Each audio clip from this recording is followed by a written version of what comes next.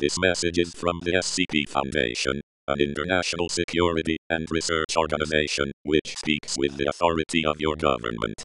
All civilians who can see this message be aware, you must evacuate the area immediately after the conclusion of this message.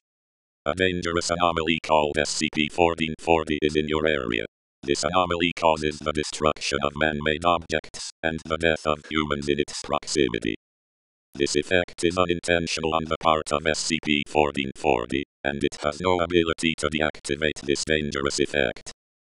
SCP-1440 has the appearance of an old man, and therefore can travel only at human walking speed. If you evacuate the area now you will therefore be safe. If you do not have a vehicle to evacuate yourself and your family, Please make your way to an evacuation checkpoint, marked with the SCP Foundation symbol.